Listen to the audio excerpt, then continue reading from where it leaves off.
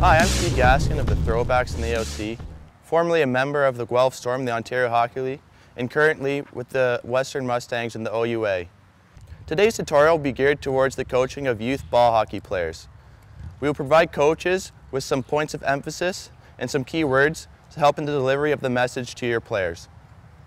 The drill we're working on today is working on a pull move or a change of direction. What I mean by that is simulating a game, when we're coming in on a defender, we want to pull the ball to the outside of our body, faking that we're going to go one way, pull it across our body, and then change our direction and continue up the floor the other way.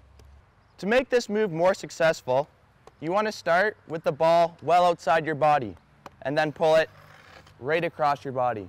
The further the movement, the easier it is to change direction and beat that defenseman.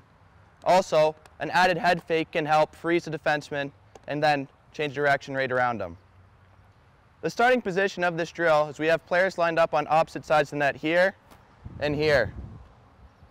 For our younger players, we have pylons set up and are used as arrows to help direct them which way to go around the pylons. For our older groups, we use attack sticks or triangles as it allows them to be a little bit more creative where they can put the ball between the feet of the triangle or through the stick or in front of. So on the whistle, players are going to leave. So go ahead.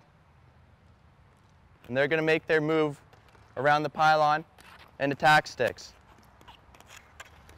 Again, emphasizing the fact that the longer the reach and pull, the more effective the, the move is going to be.